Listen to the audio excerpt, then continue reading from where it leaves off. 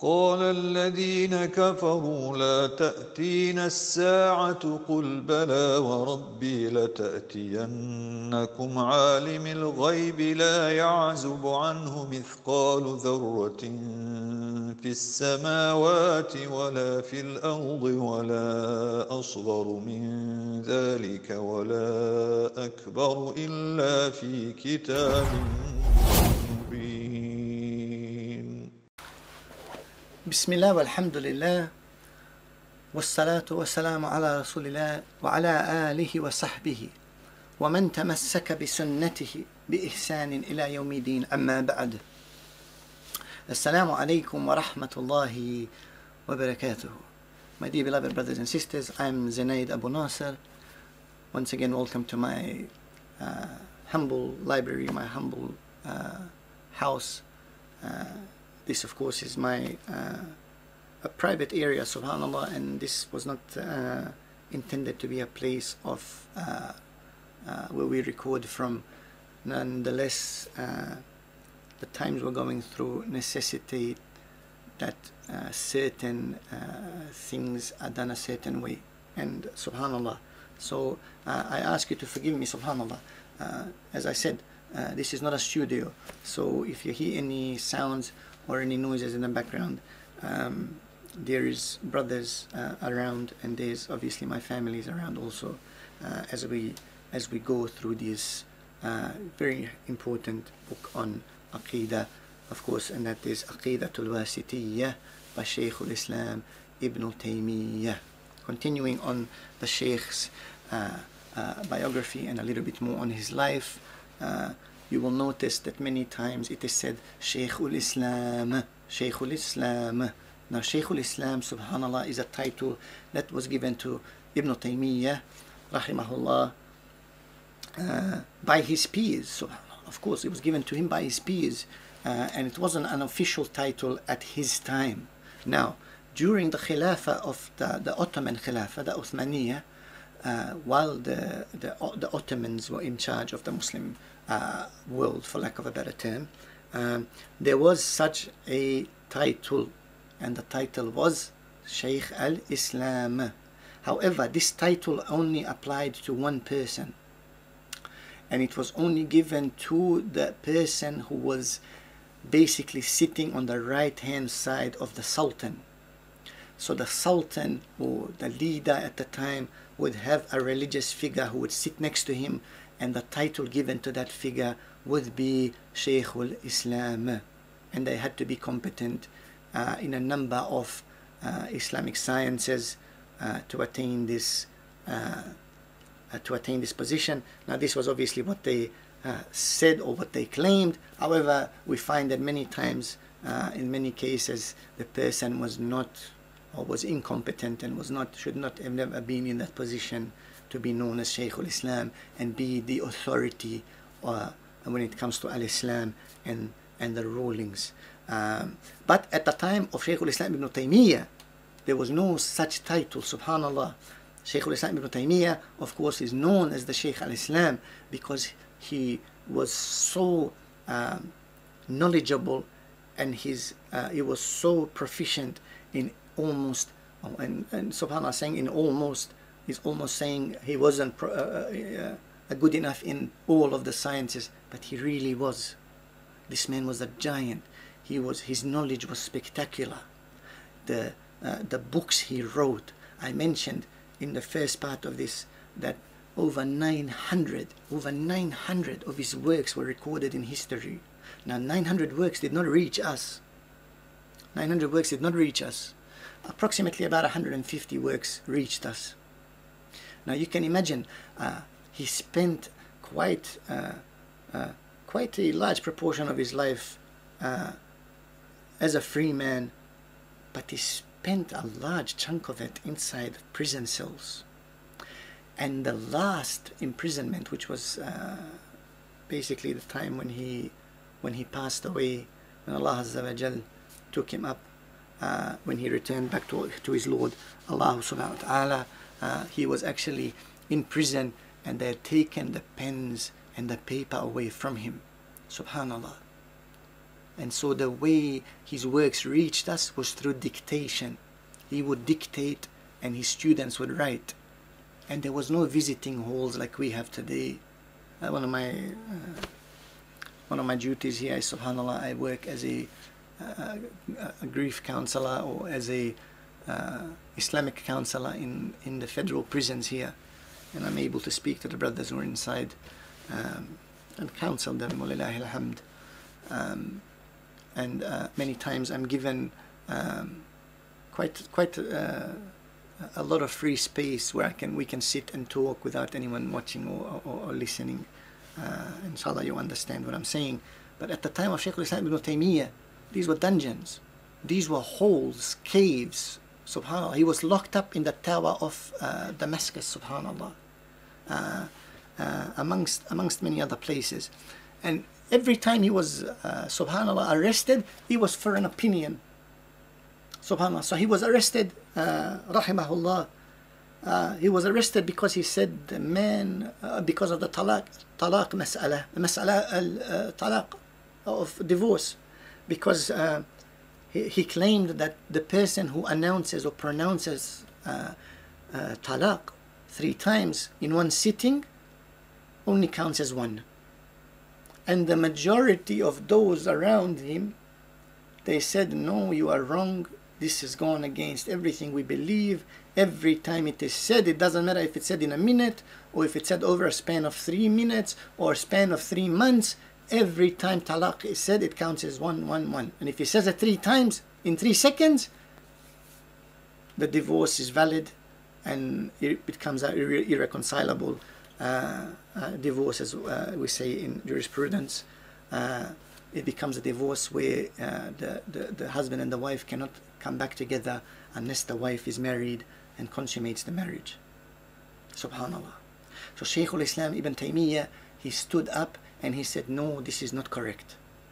The correct, the correct ijtihad when it comes to this mas'ala is if a man says it when he's angry and he repeats it three times, it only counts as one. And subhanallah, they put him in prison because of this opinion. And this is just one example of the trials of Shaykh al-Islam ibn Taymiyyah. Now, as I said, the Sheikh subhanallah, was spent quite a lot of, uh, quite a lot of uh, uh, time behind um, uh, doors and behind uh, bars as a, is probably a better way of uh, saying it.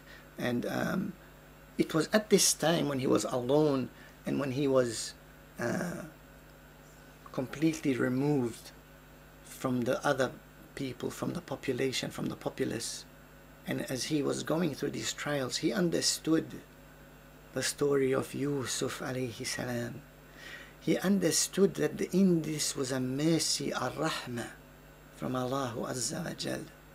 And he was always, though he was, uh, uh, though they thought they were humiliating him and they thought uh, that they were somehow uh, belittling him by doing so, he was always upbeat. He was always smiling. He was always, as Ibn al-Qayyim, uh, rahimahullah, says, one of the students of Shaykh al-Islam, Ibn Taymiyyah, he says, قال شيخنا ابن تيمية our Sheikh Ibn Taymiyyah we used to go to him subhanallah and he would cheer us up while he was behind bars Allahu Akbar such was the state of Ibn Taymiyyah people would go to him Allahu Akbar while he was going through a musibah while he was going through adhab while he was going through pain through trials and tribulations and people would go to him with their problems with what's sitting heavy on their chests and he was able to cheer them up. And subhanallah this was uh, just another example of Ibn Taymiyyah and his outlook on the life subhanallah. And we get the very famous quote from him and he says what can they do to me what can they do to me if they imprison me I'm alone with my Lord subhanahu if they send me away from this land of ours, then I, this is hijrah for me. And if they kill me, then I'm one of the shuhada bi'ithnillah. What can they do to me? whatever they do benefits me. This is, of course, one of the very famous sayings of Shaykh al-Islam Ibn Taymiyyah. Now, um, subhanallah, I mentioned Ibn al-Qayyim. Uh, I mentioned earlier on uh, Imam al-Dhahabi in one of the early recordings. Uh, Shaykh al-Islam Ibn Taymiyyah, at his time, had major scholars around him. Of course, I have notes. Uh, I wrote some notes. Uh, oh, these notes are actually quite uh, a few years old, but um, uh, notes are something that's encouraged. Subhanallah. One of the things that I encourage people is to have uh, notes. So, Subhanallah, you'll notice on my desk here, on my desk here, Subhanallah, there'll always be uh, a notebook and pen. There's always a notebook and pen a student of knowledge and if you go throughout my library and you look around there's notepads everywhere filled whether it's just one saying whether it's an ayat whether, whether it's a hadith whether it's a transcription of a lecture that i attended that i was at uh, there's notepads everywhere this is something Shaykh al-Islam ibn Taymiyyah was known for. He was able to memorize so quickly he was able to retain the information that was given to him, that he'd read, that he'd listened to. Good habits, my brothers and sisters, are really hard to learn, but once you acquire them, they will help you throughout your journey in this dunya.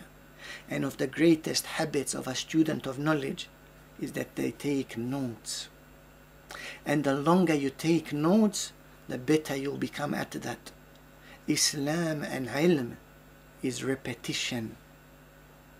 You read, you recite, you memorize, you write it down, you read and recite it again. This is how knowledge is attained in Al Islam. So, as we go through this journey, bi'idhnillahi azza wa jal, you should have notes, a notepad filled with the notes on um, Aqidatul Wasitiyah and of course on Shaykhul Islam Ibn Taymiyyah because not only will I be covering Al-Aqidatul Wasitiyya but I will be touching on other works of Aqa'id and other fiqhi opinions that are tied into this work. Subhanallah. So I just wanted to quickly mention that it's really important that we have uh, a note uh, with us uh, as we progress through this uh, journey. Pen and paper all the time for students of knowledge. May Allah Azza wa bless you all.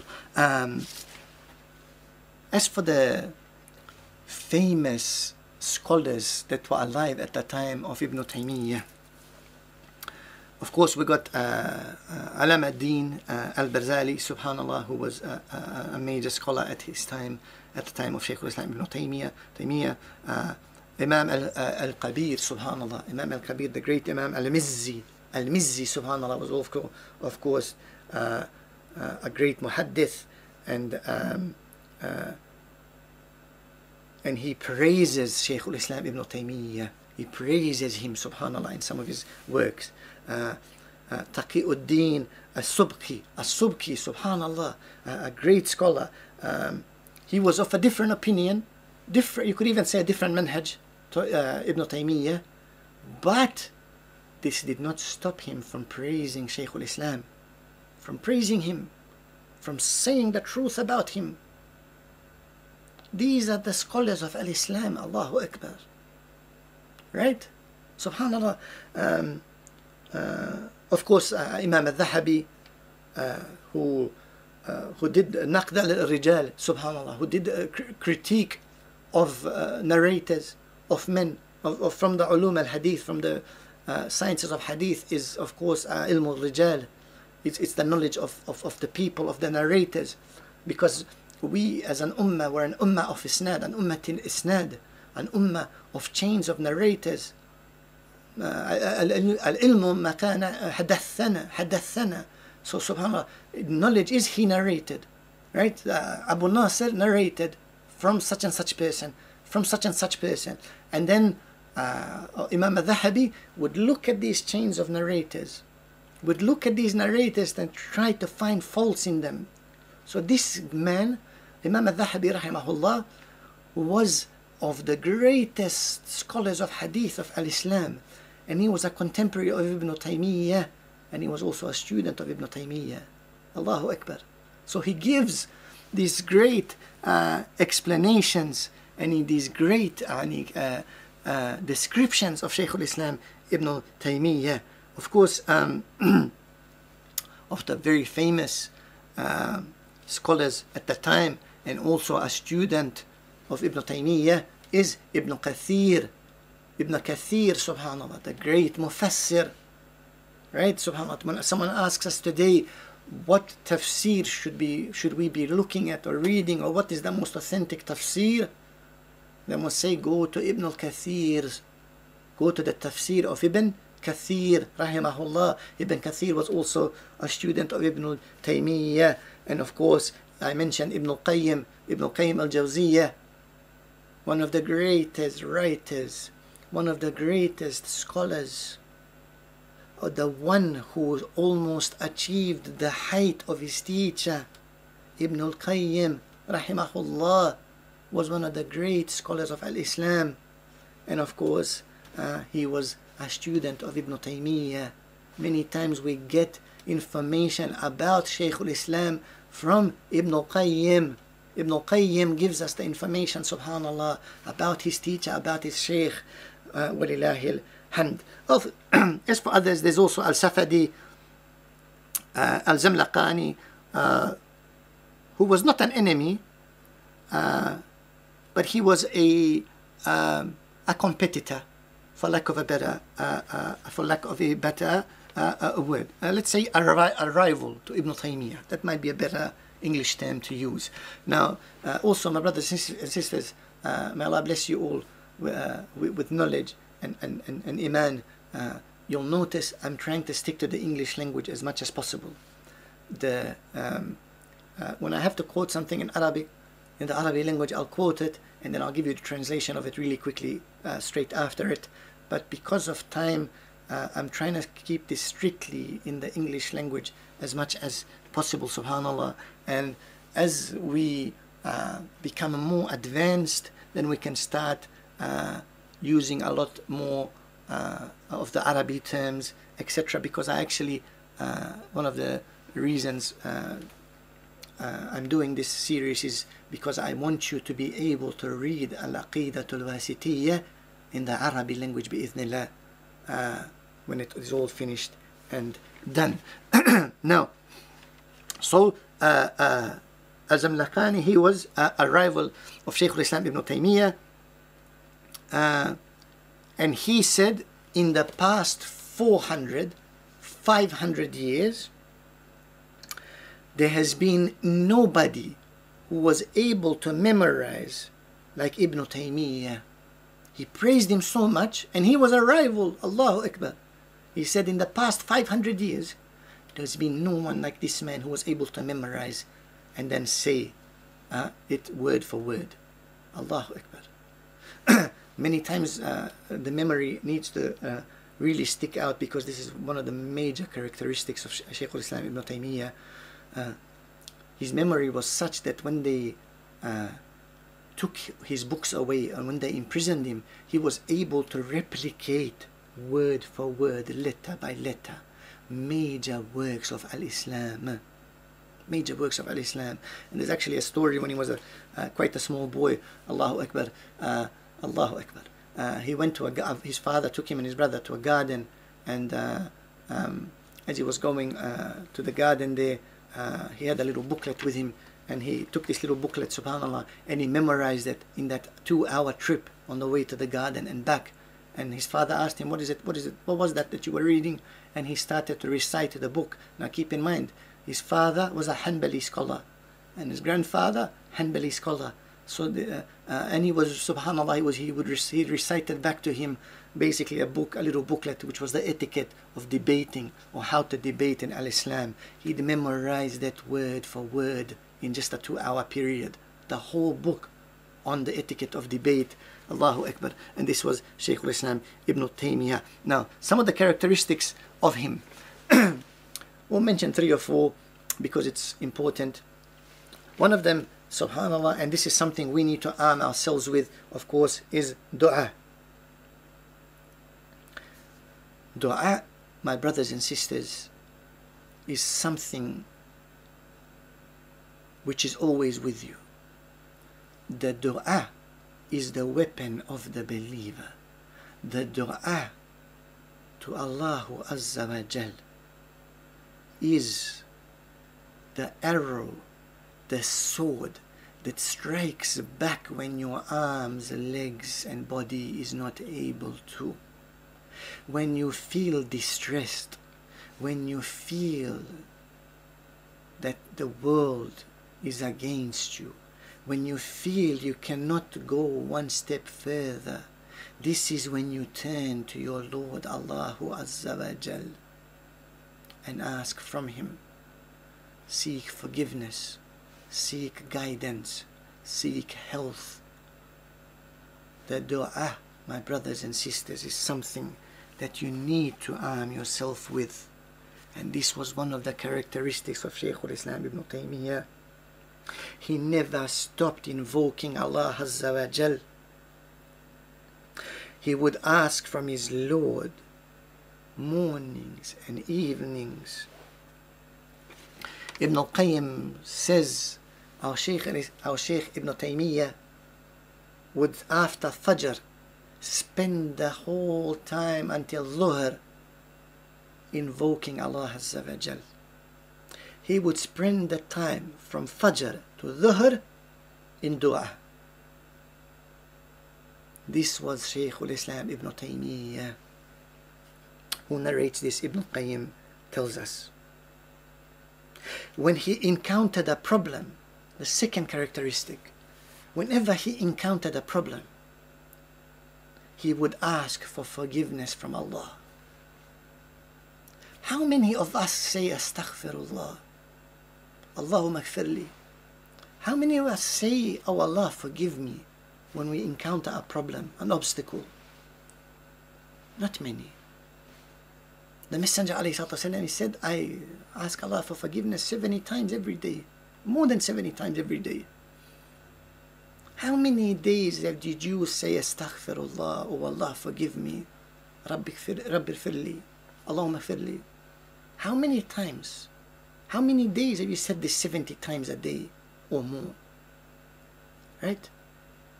He would ask Allah Azza wa for forgiveness every time he encountered an obstacle.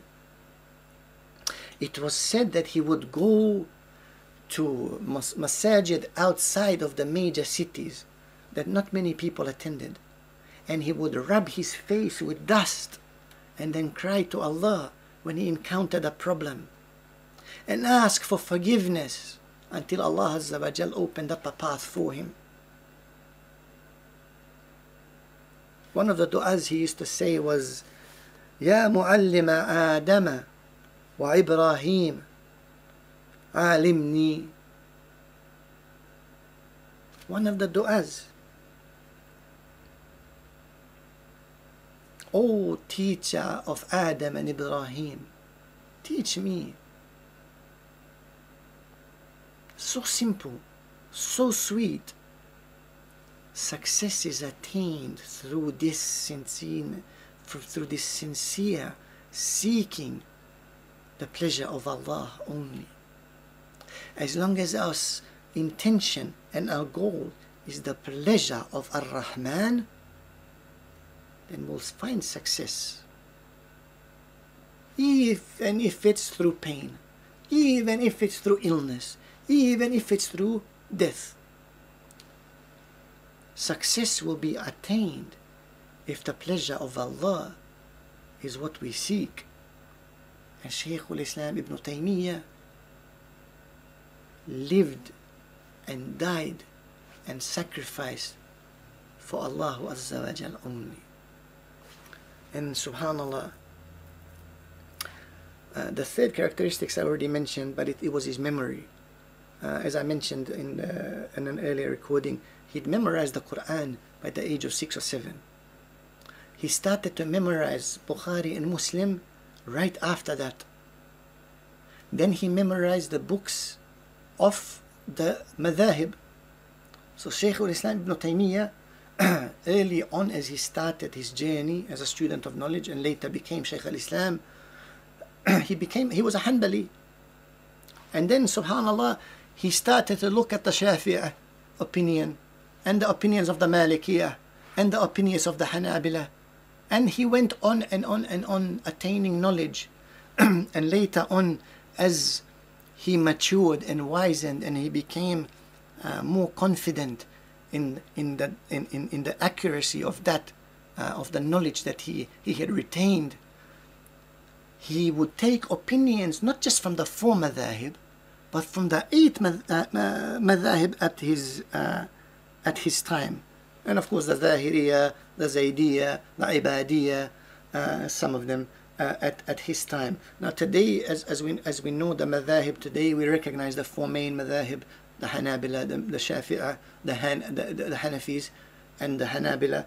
Um, uh, uh, and we also recognize the Zahiri madhab, the method of uh, Ibn Hazm, and of course I uh, actually have translated a couple of works of Ibn Hazm. Ibn Hazm al-Andalusi is of course, rahimahullah, was also, is also of course, uh, was also a great influence on my life, just like Shaykh al-Islam Ibn Taymiyyah uh, was. So there is a Zahiri madhab, uh, though it may not be recognized by everybody, but there is a madhab which is a Zahiri madhab, uh, uh, subhanallah, uh, which doesn't get enough recognition just because of the small amount of people that follow it to this to this day. So uh, Shaykh al-Islam ibn Taymiyyah not only memorized the books of the Ahl Sunnah, but he memorized the works of others also. Because he wanted to see, he wanted to be able uh, to discern what these other people were saying. He wanted to be able to uh, use their uh, own information, their own facts as they stated, as uh, ammunition against them. So he wrote books about the Shia. Right, subhanAllah. I didn't miss, I, I, one of the madhahib, I didn't mention, mention uh, uh, the Ithna Sharia, right, the Shia. But he wrote books about them. Why? Because he read their works and he said this is kufr and shirk. This is kufr and shirk. Now the ordinary uh, person may not be a kafir or a mushrik. But the one who wrote this, the one who believes this, the guy that's in charge of this, then he's committed kufr and shirk. Right? He wrote books about the Christians because he was knowledgeable on their own scriptures and their own uh, uh, creed and their own belief system. So memorization is of course one of the great uh, uh, one of the great characteristics of Shaykh al-Islam ibn Taymiyyah and we're just quickly running out of time. Subhanallah, I wanted to touch on a lot of more uh, points uh, regarding uh, uh, the Shaykh, subhanAllah, and I hopefully I've covered a large proportion of it. next, bi'idhnillahi jalla wa'ala, we will start with al-wasitiyya.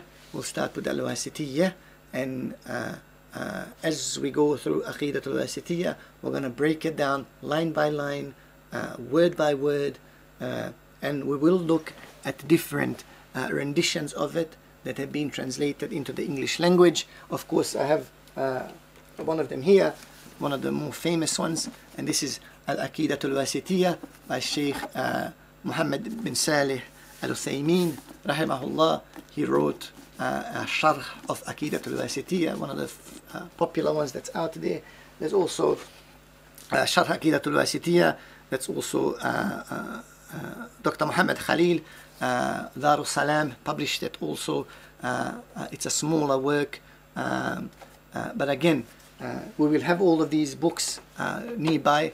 We'll have there's other also English narrations and translations that we will, inshallah, Uh, mention, but we will primarily deal with the text and then the sharh from multiple choices. As I said early on, we want to be as objective as possible. We want to get information across. We want to be able to understand it, memorize it, and implement it.